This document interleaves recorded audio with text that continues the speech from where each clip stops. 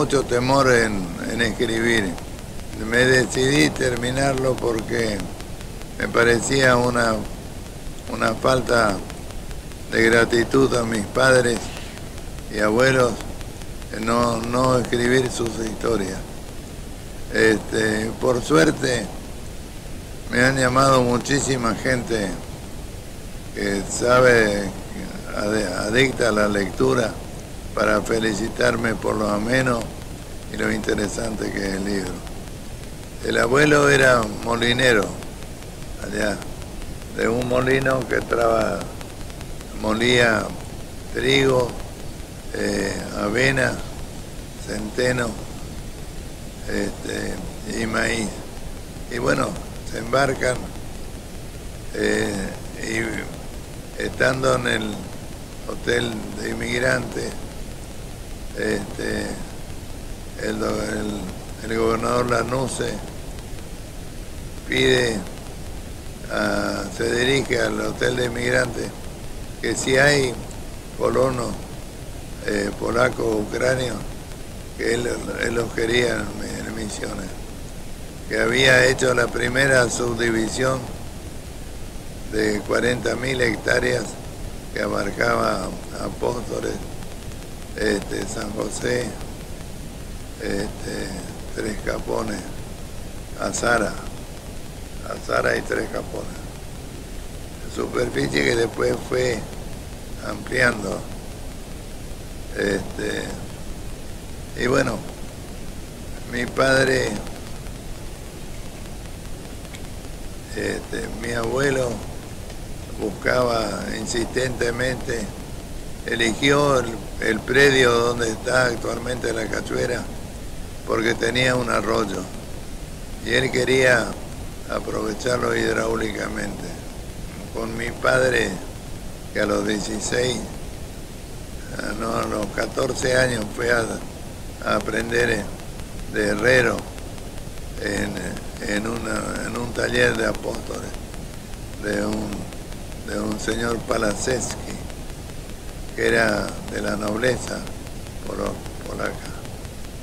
Este, aprendió herrería y bueno, fue una mano importante para el abuelo. Y construyeron el primer molinito que molía 50 kilos por hora de maíz, solo para maíz. Ellos cultivaban trigo y maíz, fundamentalmente. Como no, no concurrieron a Posadas a vender su, su producción por la muerte de la abuela, la enfermedad de la abuela. Este, eh, ya cuando fueron la plaza de Posada estaba saturada y no, no podían vender el producto. Lo dejaron en consignación en una casa Castiglione y como anticipo de lo que iban a cobrar si vendían, trajeron una bolsa de sal para el ganado y un cuero de vaca resecado le propuso, hijo, no quiero que sufras todo lo que padecí yo. Vendamos todo y vayamos a Estados Unidos. Este, bueno, mi padre ahí tomó conciencia de que no era solo el hijo, sino que tenía que ser el protector de su, de padre. Bueno, cuando le propusieron a mi madre y a la, y a la abuela este, materna, vender todo, mi madre no se opuso. Y la madre de ella también. Dijeron, no, acá estamos bien, tenemos alimento, hemos progresado, eh, tenemos, tenían bastante ganado ya. Este, lo que bastante ganado para una propiedad que era de 83 hectáreas, que es la donde está la cachuera. Y la abuela propuso, ¿por qué en lugar de vender todo e iniciar una aventura, ¿por qué no se van a Buenos Aires a trabajar y ganar dinero para los pasajes? Esto acontecía en 1914. Y los dos consiguieron, consiguieron trabajo. Papá trabajaba en un taller este, como herrero. Pero volviendo, siempre pasaba por un taller a donde había un torno alemán. Este, y se paraba en la puerta a mirar el trabajo que hacía este torno. Eh, el alemán, era el nombre era Otto, intimó con papá y le le hizo pasar para que observara de cerca y después le enseñó la, cómo, cómo funcionaba. Este, y cuando regresaba a Misiones, este, le regaló tres eh, fresas de acero, porque papá decía que iba a ser un torno. Entonces le regaló tres fresas de acero para su torno. Volvieron a misiones. Este, y papá se la quedó con la obsesión de fabricar el torno. Así que ese viaje fue importante en ese aspecto. Y construyó un primer torno de madera, de madera dura él, yo no, yo no lo conocí, pero él me explicaba que se parecía más a una moto que a un torno.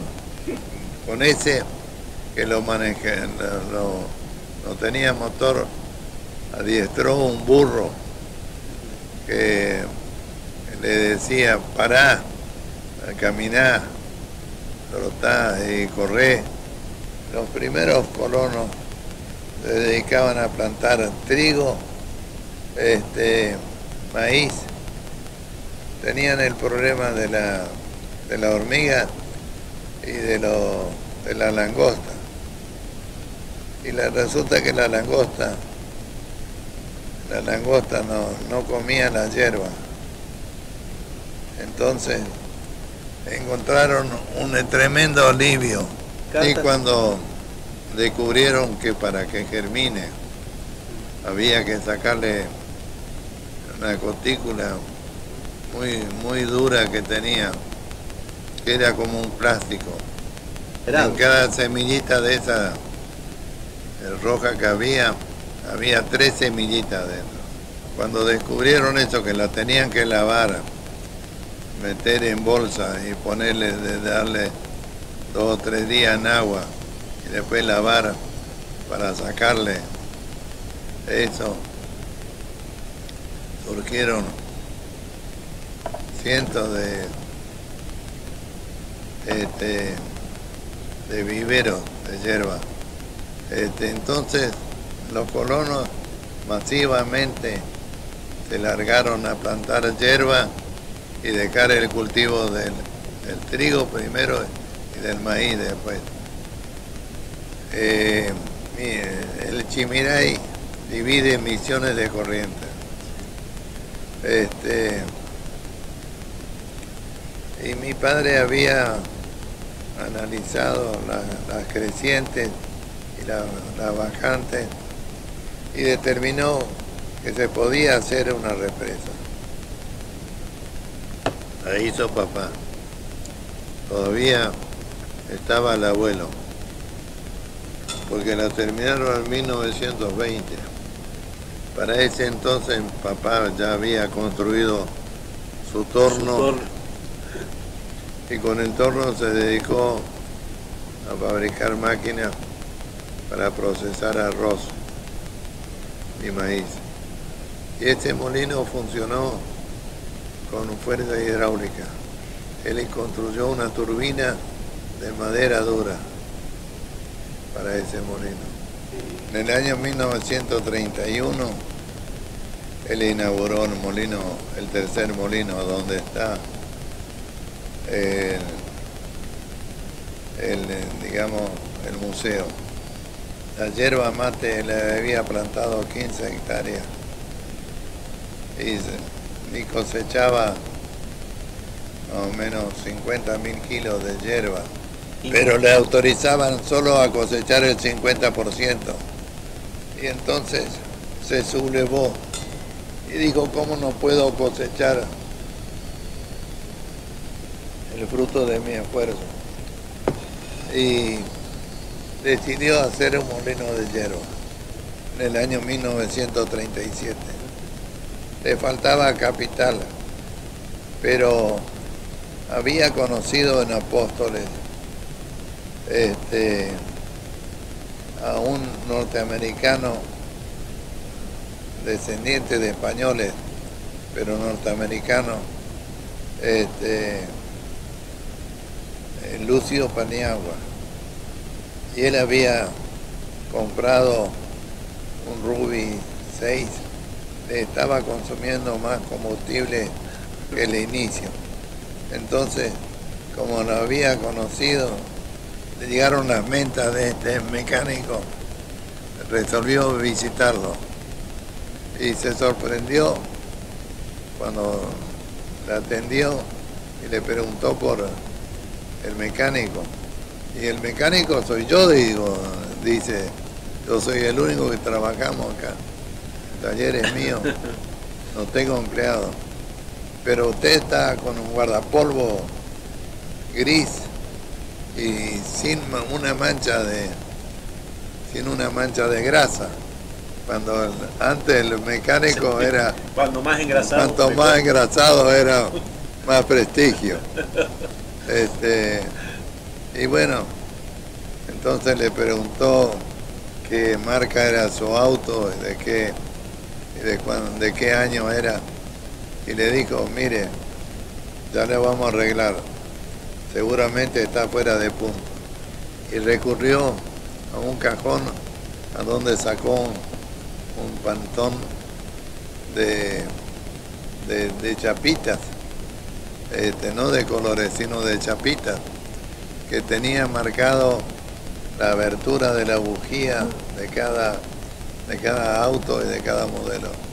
Entonces, este, lo invitó para que venga a ver el molino. Ya, ya tenía su tercer molino.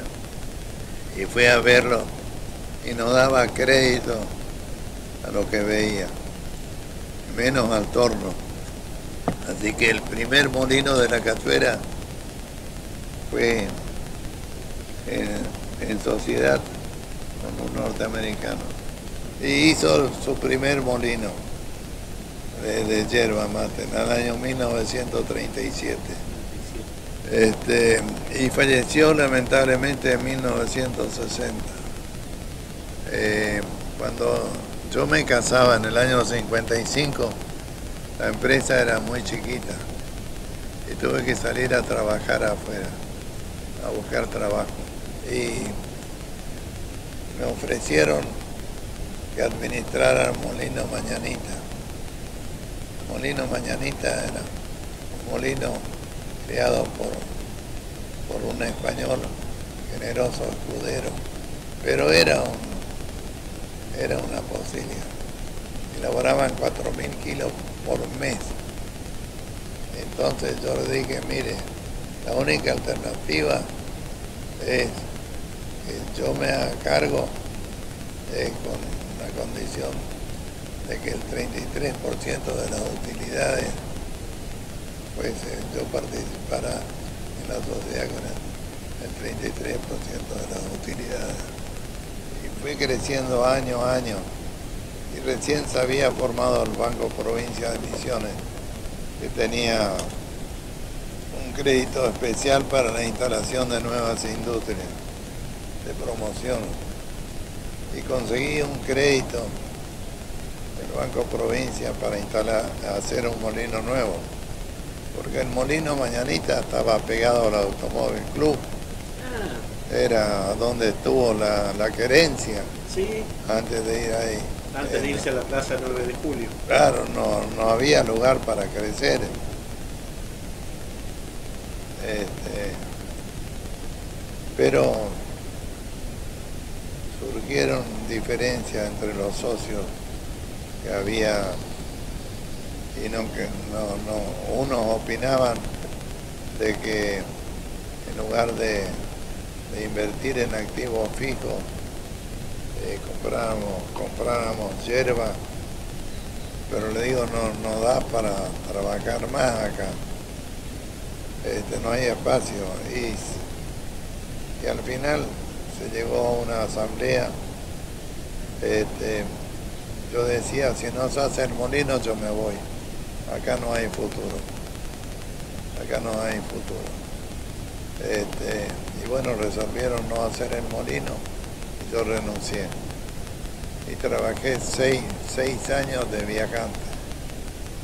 La primer marca que tuvo papá con Paniagua fue la marca Aroma, una linda marca, pero no la registraron.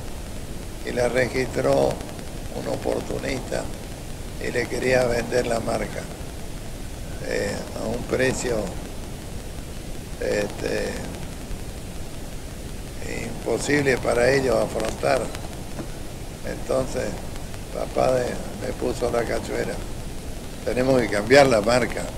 No va esta. Este, ¿Y por qué, mijo? Bueno, y entramos en la necesidad de cambiar. Este,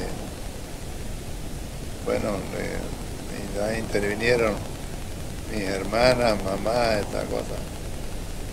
Y en aquella época escuchábamos por radio, radio El Mundo una, una novela que trabajaba Amanda Ledesma, una, una artista.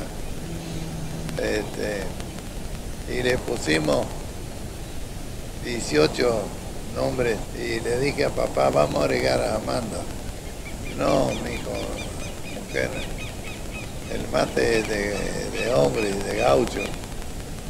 Antes se representaba al gaucho mateando, al peón de estancia mateando. Y le digo, pero papá, en la, líder en la provincia de Buenos Aires, en la provincia es la yerba la, la manola de González Bardi. Este, en el Uruguay la líder es la yerba Sara. Este, y en Santa Fe. Estaba la yerba la María, este, vinieron solo cuatro no que estaban de las 19 y eh, insistí en Amanda y, quedó Amanda. Y eso habrá sido el año 52, 53 era un desafío muy grande porque estaba financieramente estaba lona y con mucha deuda. Y asumí la. Desde el año 66 hasta el 2010. Este, y bueno, logré hacer con trabajo, honestidad, sobre todo mucha honestidad, la empresa que hoy la tomé con siete obreros y la dejé con 550 operarios. Todos inscriptos, todos contentos y 70 administrativos.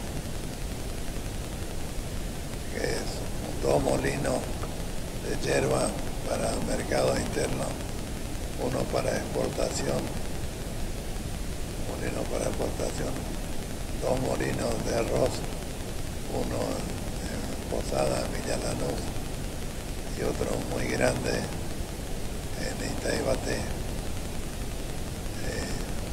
con silos secados de arroz. Y, cultivamos entre 1.200 y 1.400 hectáreas anuales de arroz. Entre la cachuera que figuraba por el pueblo el número 87 entre los 100 molinos de la que había en el país lo posicioné como el segundo molino de importancia del país. El primero Tarahui, segundo Amanda y la principal exportadora de yerba mate del país. En el año 91 hice una sociedad en Siria para eh, envasar, envasar yerba este, y nuestros ex socios hoy dominan el mercado de los 22 millones de kilos que, que procesan, que envasan por año. La cachuera les proveía de 15 millones. Y tenemos una sociedad en el Uruguay de, de yerba mate, industria alimenticia del plata, que hoy era la principal eh, empresa yerbatera de, del Uruguay. Proveerlo al Papa, tomar yerba. Ah, sí. Y si hubo una oportunidad de enviarle alguna yerba Eh, más. Este, yo tuve oportunidades y él en los, en los alimentos que pidió en su reciente gira para en México eh, puso y, en yerba mate sugerencia preferencia Amanda Premium Amanda Premium. Sí hago llegar a través de sacerdotes y de, de- de- de la hermana que está en Buenos Aires. Pero que ponga sugerencia Amanda Premium este, es importante. Tenemos fotos sí de él tomando mate y con un paquete de Amanda Premium. Claro. Yo lo que, lo que le quiero hacer resaltar es que hay que defender los pequeños productores. La hierba tuvo varias crisis de sobreoferta y con una gran caída de precio. El minifundio de posadas de, la, de Misiones, a donde al producto le agregaron capital de trabajo, el, eh, que trabajaban ellos en lugar de tomar obreros, permitió la subsistencia de los pequeños productores y, la, y mantener la, la oferta. Estaba prohibido cosechar para exportar por los convenios que hizo la Cámara de Comercio argentino-brasileña y brasileña-argentina, que presionaban con la venta de hierba si no, no compraban trigo argentino. Sufrió muchas distorsiones. Bueno, con el Partido Agrario, en el año 66, yo asistí en el año 60 y, y a fines del 62 a una asamblea de productores y le digo, mire, el problema es mucho más grande. Tenemos que luchar para reducir los stocks, prohibir la importación de yerba mate, este, para poder y no cosechar un año.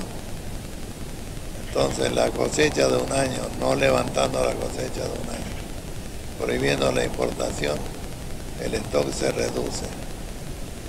Y le digo, para esto tenemos que expresarnos políticamente. Y bueno, nos largamos sin recursos, sin organi- organización. Allí en esa reunión se pidió, eh, Urrutia pidió que el primer diputado fuera Tito Reinaldi de Santana, este, y otros que me escucharon me propusieron a mí. Yo no iba a buscar problemas, iba a, proponer soluciones, pero como nos había incitado a librar la batalla, no podía decir que no.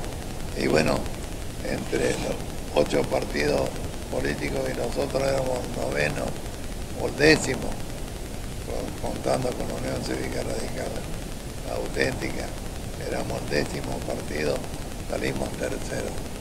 Y entró Tito Reinaldi y entre ellos en la renovación de 16 diputados. Y al final lo convencí a los diputados, menos los socialistas. El 99,8% de los productores aceptaron la no cosecha.